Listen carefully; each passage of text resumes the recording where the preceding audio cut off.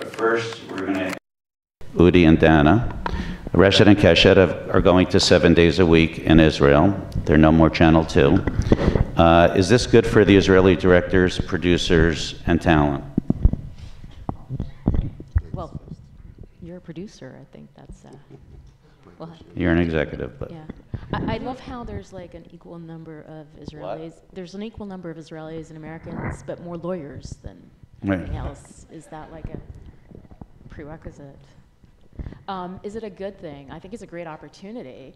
Um, we have to see how, you know, the financials kind of end up. Right now, there's a mad dash for ratings. Everybody's spending a ton of money.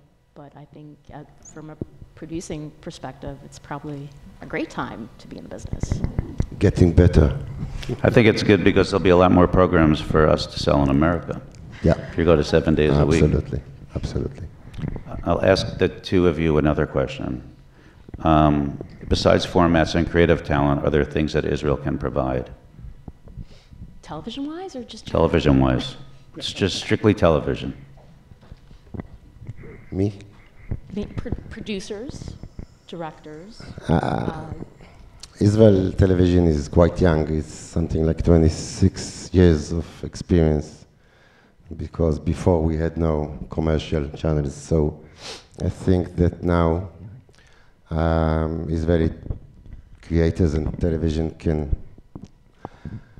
offer um, young and uh, enthusiastic creators um, who are, unique you, who are used and to working cheap. Right, I also think cheap. if Yep. You can so- produce shows in Israel. I don't that like to say That's it, not for Israel.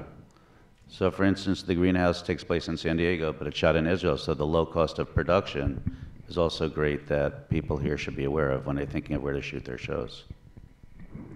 Yeah, I think uh, we had the experience because of our uh, limits. Uh, Sometimes I thought that when you have, uh, when you really have a small box, you must think outside outside of the box. So we are, had a lot of experience with uh, small budget and still not to give up and uh, to do projects in worldwide uh, standard.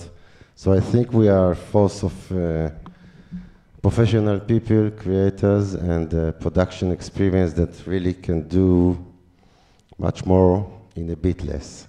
Thank you. Tsahi, did you ever think that uh, people would be watching you all over the world in a show that's a Hebrew language show? I thought we were going to ask him if I ever thought of acting. So, we decided, um, had a great opportunity to be part of great projects uh, in just uh, four or five years of acting. Um, and I think, you know, just to give this insight um, from an actor's experience, um, you know, the fact that these last few years, a lot of Israeli content is being exposed to so many people around the world.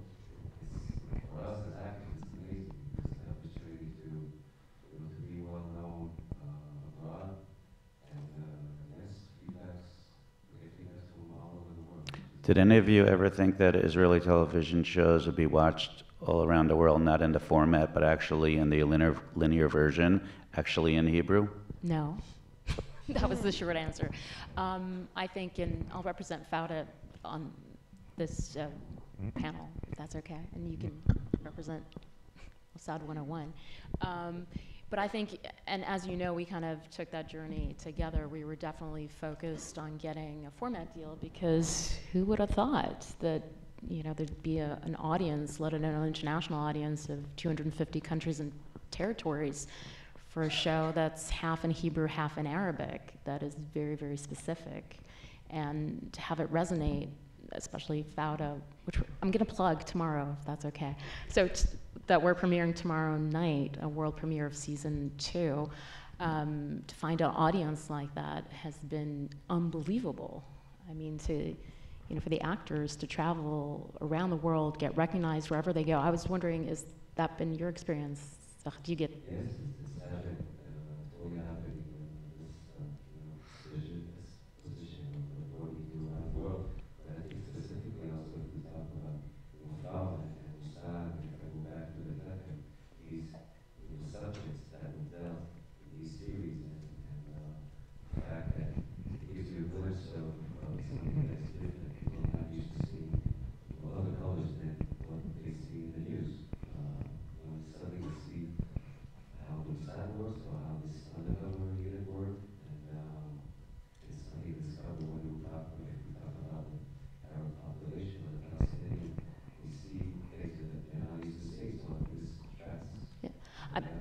I, I think before Fauda, we were kind of known for having great IPs, so having great ideas like Homeland, certainly, and In Treatment, have those kind of translated or gone through an American system and become American shows. Uh, but I think the last kind of year and a half or so has really broken through for all of us in the sense that, you know, the productions that we make in the language that we make them and in the country where we shoot them actually managed to find such a global audience has been Sharon, Awesome. or do they call you Sharon in Israel?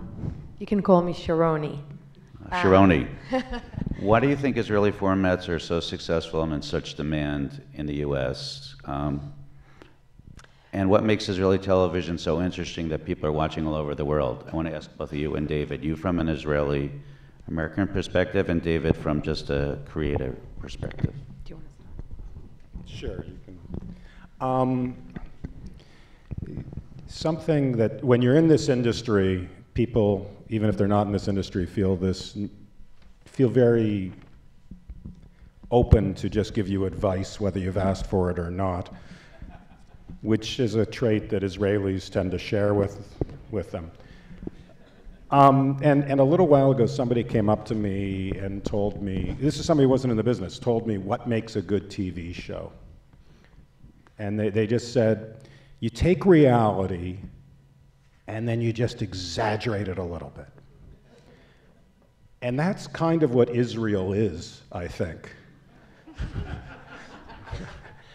and I think when you live in Israel, you live with that. You live with all the regular day to day stuff that everybody does, but it's just a little more heightened and a little more focused. This is my pet theory for why you're creating so many good dramatic shows, aside from the fact that there's a lot of Jews that live there, um, who, in my experience, tend to make good writers. They're Um, good storytellers. yes. A lot of Bubba minds, but they're good storytellers. So I think there's just a great. They're good storytellers. You're absolutely right. I mean, it goes. Histo- they also, you know, Judaism's uh, history is filled with debates over ethical issues, and that's what drama is too. We- We're raised to argue about things, and that's what drama is. And so you've got a country filled with people doing that, and that's going to be good. Um, I definitely echo that. I will also say Israelis are innovators, they're entrepreneurs. Um, it's not a coincidence that we also invented so many things in the tech world.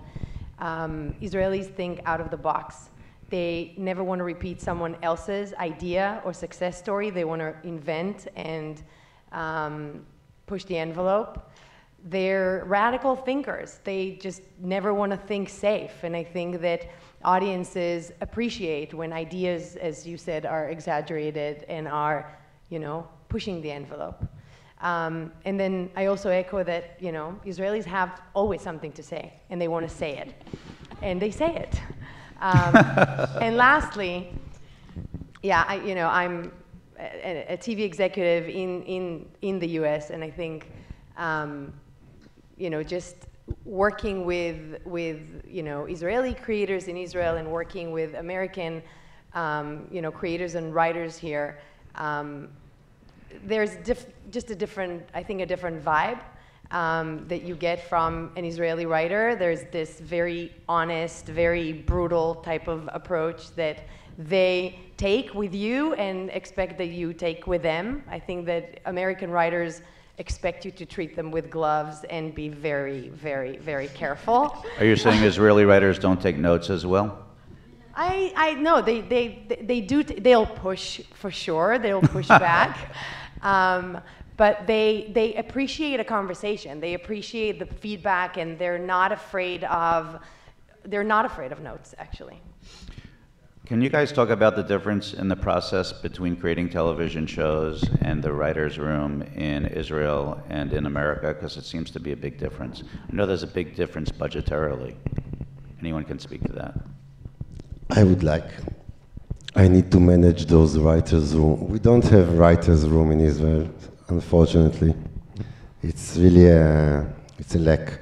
Uh, usually, when we start an idea, so it starts with a one who comes with an idea and you start brainstorm and brainstorm and you pitch it and then you add some other script writers because when you get the green light you need to do it as quick as possible and to write as quick as possible. So we use a, a group of writers that uh, handle the project uh, together with the chief or the main creator. Sometimes he's also a writer sometimes he just brought the idea. But we do not have a writer's room uh, we do it linearly. We cannot afford ourselves, unfortunately, to have uh, every day uh, a group of people comes to the office and working together and debate and brainstorm, etc., and then conclusions. Um, but still, we do this complicated way path, and uh, we support all every stage with the right people, dialogue, script writers, storyliners, etc. And I wish sometimes we can have uh, the ability, you know, to, to hire or to budget writers' room. So it's quite different from what I know happens in. David, Hollywood. would you ever see yourself going to Israel and uh, creating a TV show there? Um, why not? I mean, Lamalo. Well, What's the, although you get spoiled with the budgets over here, and yeah, it would have to be on similar terms, but I love Israel and I love Israelis, and I'm not just pandering. Um, I am pandering, but I'm or not just pandering? pandering. What's that? Or pandering? Yeah. Um, you you get because I I need I rewrite everything more than I write. That's what my clients on your shows have told me. and you get spoiled with that. And so um, I would need to have similar circumstances, but uh, I like the idea of an executive that, that expects me to push back against them. That's why you should do something for Amazon with your own, because you'll get a good, it'll be a good tug of war between the two of you. I think our compensation about this process is the passion and the moments that you really need to find a clue to something ever, never did. Because, as, as we said, both as the box is small, you, you don't have any chance. You need to think out of the box because she's so small. So, this is for me a metaphor for the situation. Michael, because you're have no involved other in selling choice. formats all over the world, how would you compare the success of Israeli formats to other countries' formats here in the U.S., both from other English-speaking countries and from non-English-speaking countries? I think, as Dana said, the last year and a half has really changed the change format business. Um, before that, you know, Israel obviously did very well um, in terms of change formats and bring their IP over. But what happened is, due to the fact that we have global streamers, the Anglo countries, specifically the UK, their shows are now being seen everywhere. And so when you do a UK adaptation, there's a, a fear that you've already seen the same show um, on Netflix when it gets adapted. So there becomes a, a higher premium for Western style storytelling with great characters, and no one really does that better than the Israelis. Partially because, you know, there are great writers and storytellers, and the other thing is the population is not homogeneous like it is in Scandinavia. There's, so there's a lot of organic stories that can be told. And Sharon, what would you say, considering you see a lot of formats from all over the world? Um, you mean what other countries and what other formats are working? Or? Right, and like, how does Israeli formats compare? Is there, can you make a comparison to I other mean, they're, formats? They're just, you know, they're they're grouped in a different way. You know, Israel had a lot of success, uh, you know, with Fauda, with um, False Flag, with um, and, and in treatment and and you know previous projects. Um, you know, it was either a relationship-based drama or you know, spy um, Palestinian-Israeli conflict, I think if you look at the Scandi formats, they're very crime-oriented. So a lot of great crime came from Scandinavia. Um, Turkish dramas are, you know, you know, are very. Um, in my previous job on, on the global side, um, we sold a lot of the, you know, the, the you know, Turkish dramas, the Latin Americans uh, uh, telenovelas, also for adaptation. But I think in terms of like cable, more again pushing the envelope, I think Israel and Scandinavia are kind of the front leaders. And David, what do you think makes a good format? I just wanted to Oh. just put a, a little bit of context as to the, um, because you were talking about Scandinavian and, and UK and Israeli, and just on this fall season, actually there are three Israeli shows on primetime network U.S. television, which I think is a first. I mean, um, one is based on previous IP, the other one's a totally original. One's called uh, Wisdom of the Crowd, the other one's called The Brave, and then uh, Fox is premiering um, the A Final reality Four, show. a reality show, which is their, which is kind of funny, but their reversioning of uh, American Idol, um, which is their own show.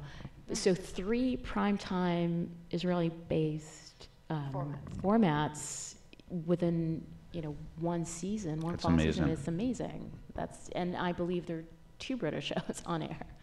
So that goes to show. It's pretty amazing. And, and one Korean show.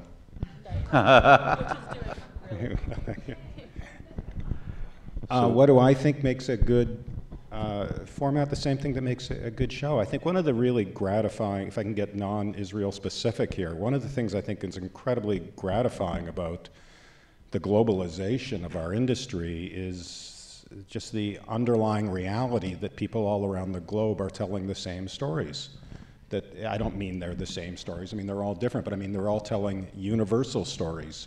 And you you watch a, a format from from Turkey and you cry, and you watch a format from Norway, and you're scared, and you watch a format from Israel and you see these characters and you care about these characters and you're rooting for them. And that's what it takes to make, make a good show, wherever it's from. Michael, what do you think? To me, it's it's about giving a, a hook, a thematic, characters as a starting point.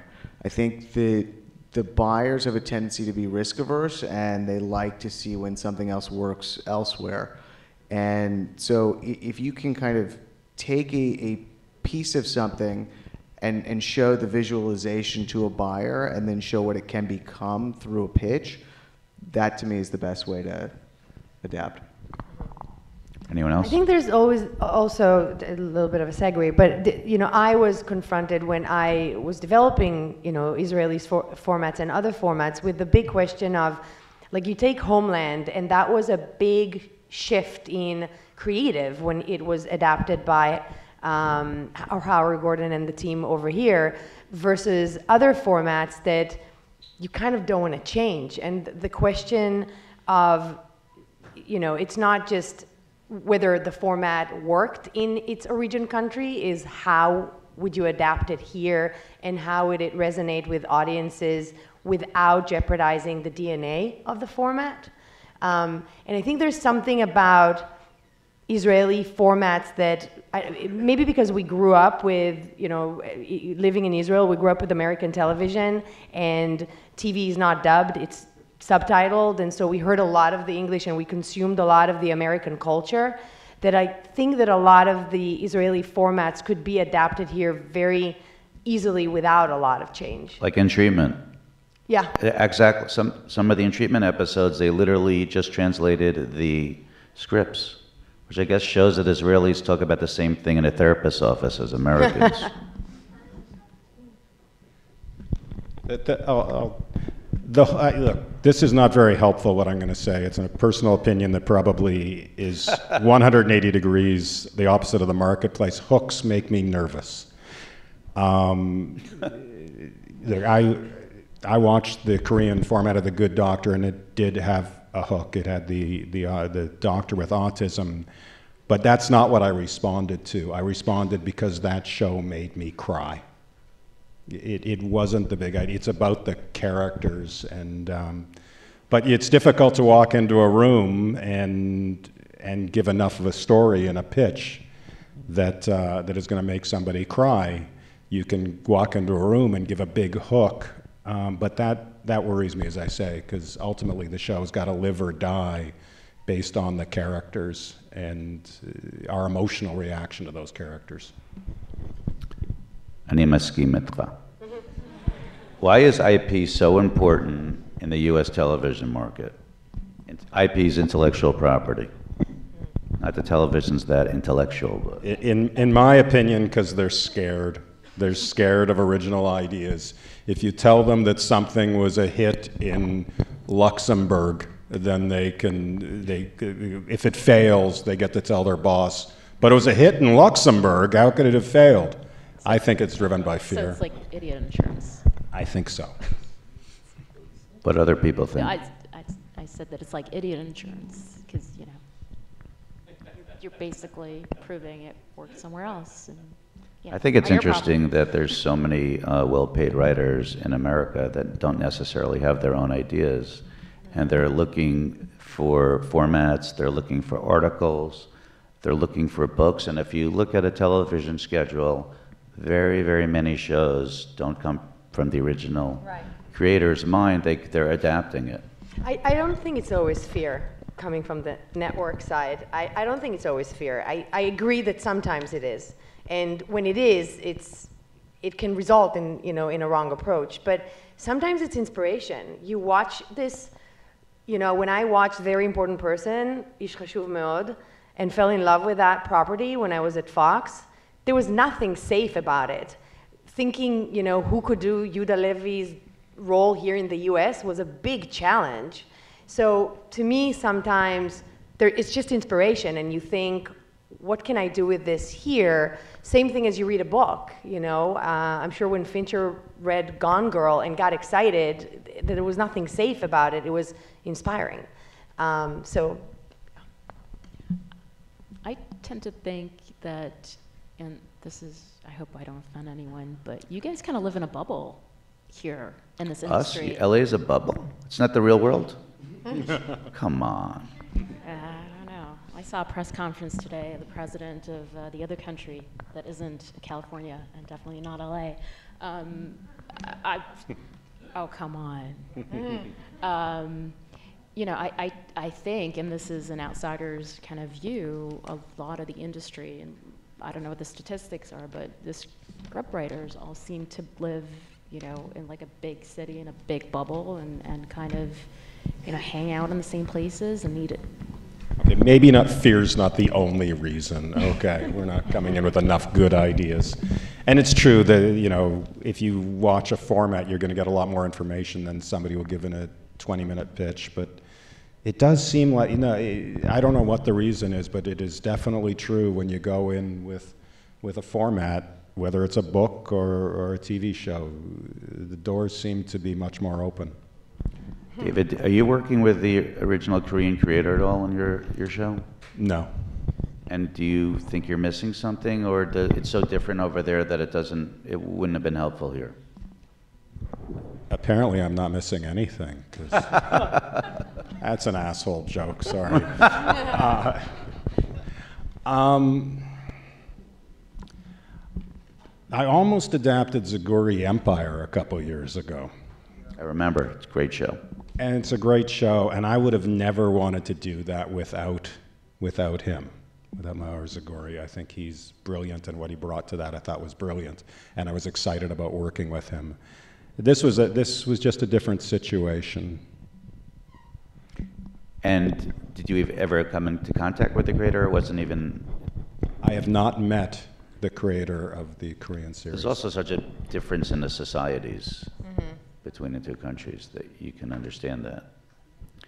When I try and work with uh, Israeli formats here, I try and bring the creator in if I can, if there's not too much of a language barrier, because I think that if the show is successful enough in Israel to make us want to do it here, there should be something that that person can contribute to help work with the creator here, but every situation is different. I've also been involved with shows where they've had zero input, and some where they have had little input, and some where they've had a lot. I think it, it all depends. But I think, David, one thing you can say as a creator is that I know you respect the process and the artists from wherever they come from. And And obviously, uh, we're all in this business. It's something that we all do. And, you know, we're very thankful for the artistic talent that people have all over the world that they can bring to us because everyone wants to be in Hollywood and that we can take their projects and try and make them successful here. And I know that um,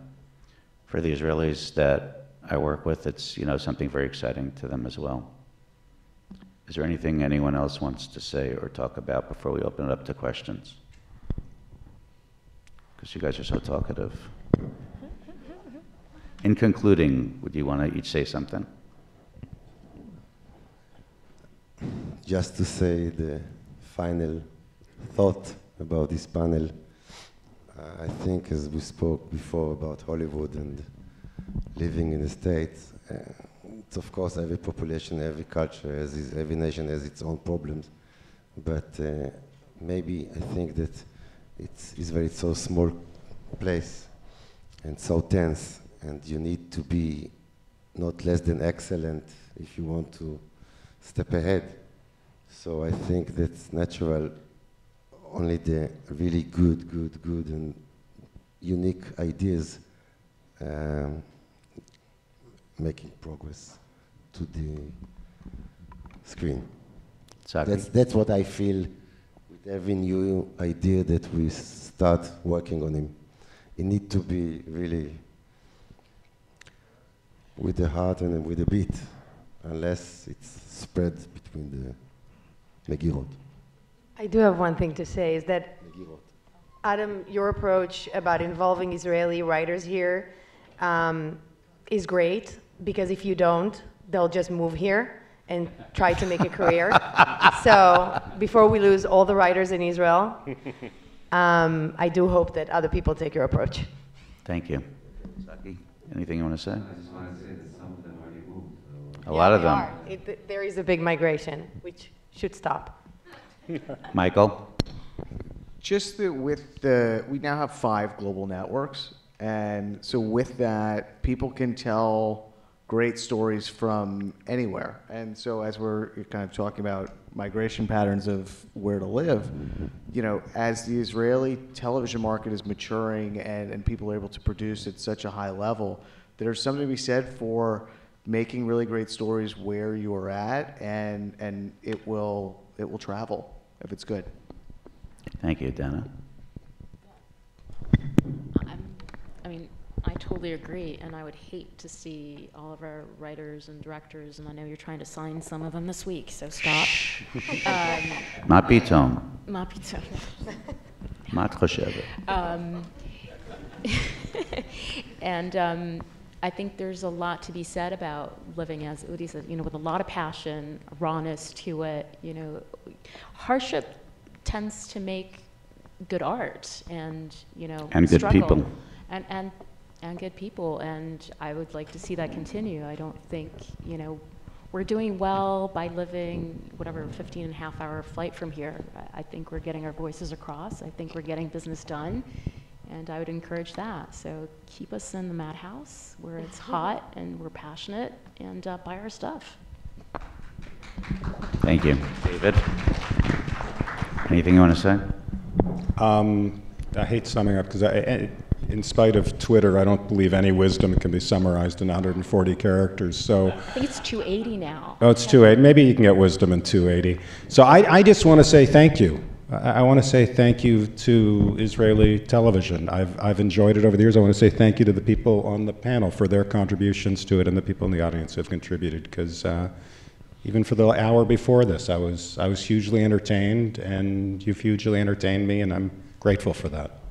I want to say thank you to everyone also because I found a passion in my job that I love that also, and I love helping people, and I love Israelis, and not all Israelis, and the country, in spite of the government. Um, And Oh, you- it's, it's exciting to come glass to work and be able to do what I do and help the people that I care about, and it's, I get a lot of nachas out of it.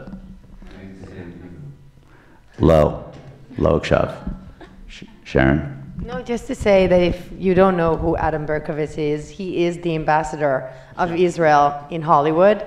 Um. And we Toda. suspect that he might move to Israel And then, I wouldn't be worth anything to anyone in Israel.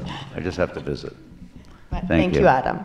Thank you all for your time. It really, it means a lot to me that you're willing to come up here and, um, and share your experiences with us. I know you're all very busy people, and I'm touched about that. Does anyone have any questions?